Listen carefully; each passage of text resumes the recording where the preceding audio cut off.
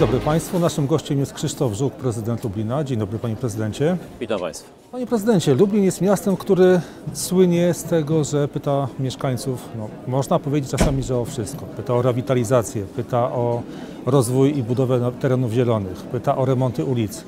E, moje pytanie brzmi tak, czy taka metoda e, kierowania miastem nie blokuje realizacji jakichś strategicznych koncepcji, strategicznych inwestycji? Czy, czy, czy faktycznie pytając mieszkańców o różne rzeczy, i te duże, i te małe, można realizować jakąś długofalową strategię rozwoju miasta? Można, bo trzeba pytać e, wtedy, kiedy jeszcze oczywiście tych projektów e, nie rozpoczynamy. E, Ja chciałem tylko powiedzieć, że uczyliśmy się od e, najlepszych, e, zarówno patrząc na praktyki miast e, polskich, jak i naszych miast partnerskich w Europie, zwłaszcza Münster w Niemczech. E, A z drugiej strony wykorzystaliśmy e, doświadczenie organizacji pozarządowych.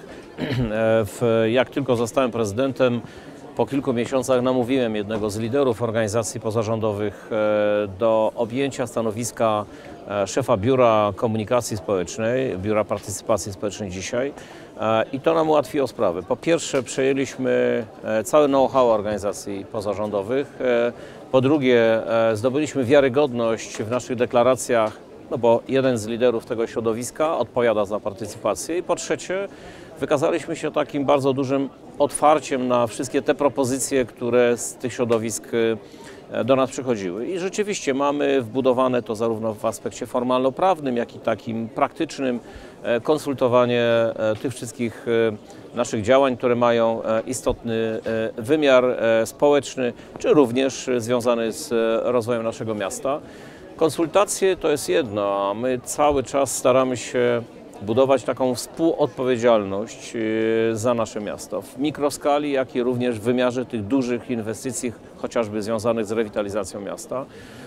To jest proces. To nie jest nigdy tak, że to jest w- szybkie do osiągnięcia. My potrzebowaliśmy kilku lat, e, żeby dopracować się i mechanizmów, ale również tej chęci e, e, bycia aktywnym. I też możemy się pochwalić, że i e, jesteśmy pozytywnie certyfikowani. Mamy tutaj certyfikat firmy e, TIF Rheinland jako miasto dobrych praktyk w zakresie pracy, partycypacji społecznej. Mamy e, uznanie Komisji Europejskiej, która nas zaprasza do takich pilotażowych projektów. W tej chwili Europejski Panel Obywatelski z udziałem miasta Lublin jako jedynego z Polski i tak dalej. Ale ważniejsze jest co innego, że mieszkańcy zaakceptowali tę formułę, którą zaproponowaliśmy sobie i z niej e, chętnie korzystają.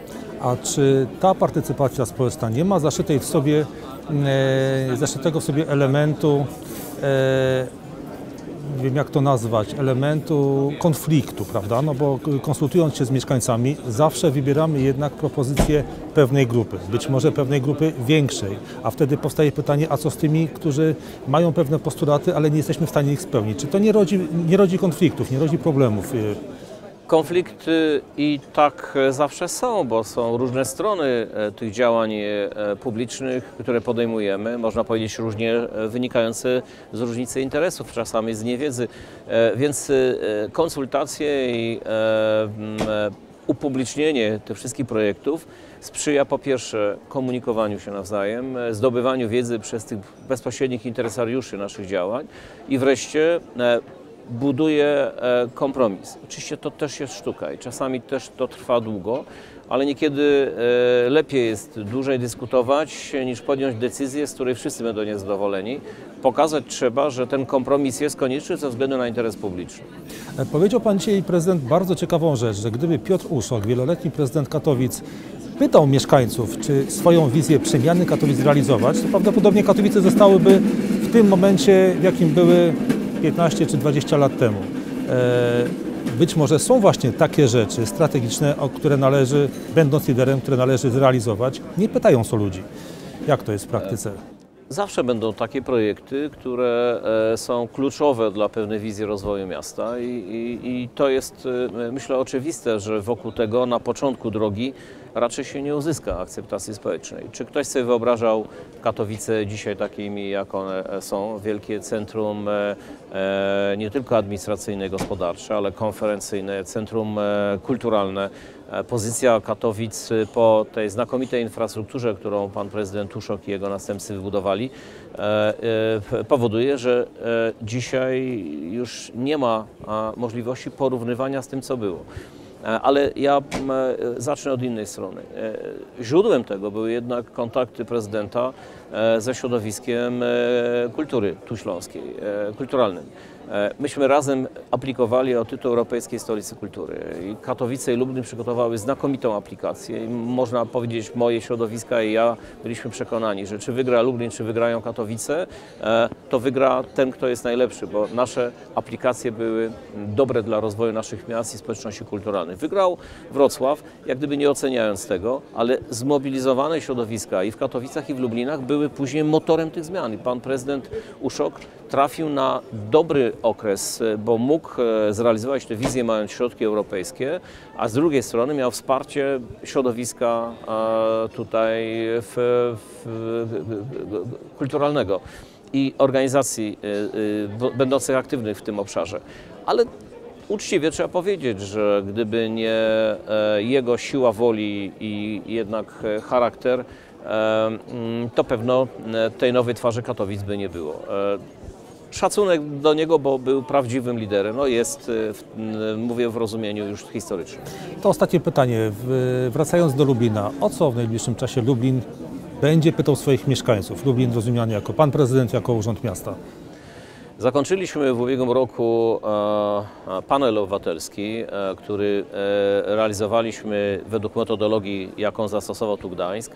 E, czyli długo wyłanialiśmy tych reprezentantów społeczności lubelskiej, dyskutowaliśmy o polityce antysmogowej. E, muszę powiedzieć, że e, osiągnęliśmy naprawdę konsensus wokół tego programu, który chcemy realizować i będziemy wdrażali i że odwołanie się do osób, które się nauczyły od ekspertów, które zaangażowały się w zrozumienie tego problemu, bardzo nośnego dzisiaj, e, zaowocowało e, pewną zgodą na te działania. E, Kolejny panel obywatelski chcemy poświęcić rewitalizacji Śródmieścia Podzamcza. To jest część otaczająca Stare Miasto. Ale z drugiej strony też mamy wyraźne podpowiedzi, żeby przyjrzeć się komunikacji zbiorowej i jej rozwojowi i też zapewne panel obywatelski temu poświęcimy. Narzędzia wszystkie partycypacyjne miasta z reguły mają. To jest od budżetu obywatelskiego zaczynając, tak jak u nas y, również Fundusz Inicjatyw e, e, Lokalnych. Teraz tworzymy Fundusz Inicjatyw Sąsiedzkich, takie małe granty dla organizacji, które działają w mikroskali, a potrzebują e, od kilkuset do kilku tysięcy złotych na małe projekty. Mm, To są te serwisy Naprawmy to i tak dalej. To jest wszystko ważne. Czy można powiedzieć, że jest to nawet super wa- ważne, ale nagle się okazało, że na budżecie obywatelskim utworzyliśmy coś, co nazwaliśmy zielonym budżetem, bo dla części mieszkańców ważne były inicjatywy budowa skweru, budowa małych e, terenów zielonych i to narzę- te narzędzie wykreowali sami. Myśmy przyjęli je za, e, przeznaczamy na to co roku e, środki finansowe i te projekty realizujemy. Więc jedno narzędzie e, e, kreuje aktywność, do której trzeba wypracować następne narzędzie. I te obszary, na przykład zagadnień, które będą dla mieszkańców ważne, to powiem szczerze, dziś są takie, jutro mogą być zupełnie inne. W mikroskali może się okazać, że pojawi się może nawet nie spór, ale potrzeba debaty wokół e, e, pewnego małego obszaru, ale w danej dzielnicy. To nie jest, e, nie ma to znaczenia ogólno e, e, lubelskiego i też trzeba być na to przygotowanym, żeby przedyskutować i podejmować decyzje i rozwiązać problem. Dziękuję bardzo panie prezydencie. Krzysztof Żok, prezydent Lublina. Dziękuję bardzo.